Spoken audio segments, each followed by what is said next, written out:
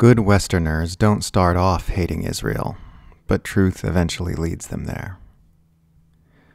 Good Westerners don't start off hating Israel. When our hearts are in the right place, we start off giving Israel the benefit of the doubt and assuming the situation must be much more complicated than it appears. Because we're not just going to reflexively assume the Jewish state is evil like some kind of neo Nazi. We grew up learning about the persecution of the Jewish people, watching movies and reading books about it, and vowing never again like everyone else. So, for entirely sensible and good natured reasons, we tend to start off viewing anything to do with Jews and Judaism in a sympathetic light. It's not until we start learning and paying attention to Israel's actions that this view begins to change we come to understand that Israel is in fact profoundly evil, not because it is full of Jews, but because it's a Western settler colonialist project that's inflicting the same kinds of genocide, ethnic cleansing, theft, and abuse on the indigenous population of the land that other Western settler colonialist projects like Australia, the US, and Canada inflicted in earlier centuries. And we learn that this evil doesn't just pervade the Israeli government, but all of Israeli society. Not because of Judaism or Jewishness, but for the same reason hatred and racism pervaded the societies of the Jim Crow South and apartheid South Africa.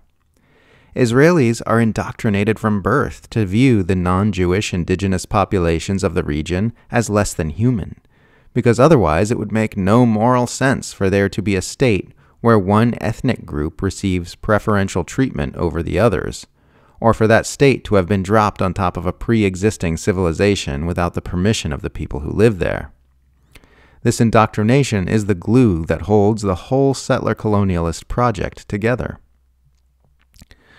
We learn that this is what we are seeing when we translate comments Israeli make in Hebrew on social media, which look like a page out of Hitler's Mein Kampf, or when we see Israeli soldiers mockingly dressing in the clothing of dead or displaced Palestinian women and playing with the toys of dead or displaced Palestinian children.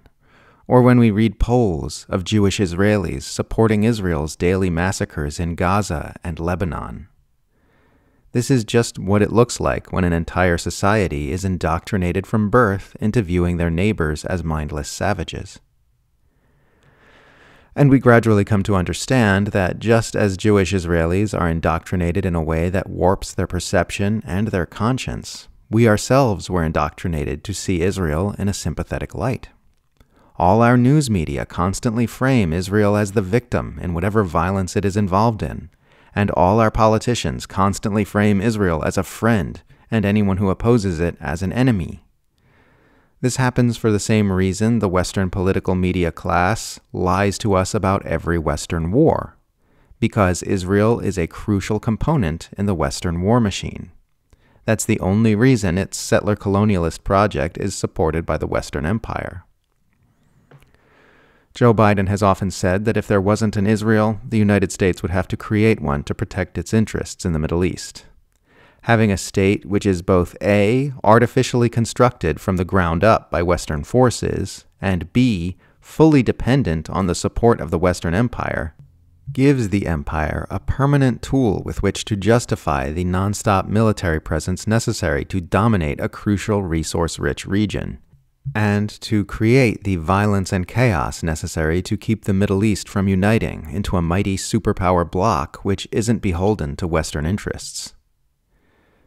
This is why Israel is so important to the Western Empire, which in turn is why we've always been bombarded with mass media messaging telling us we should support Israel.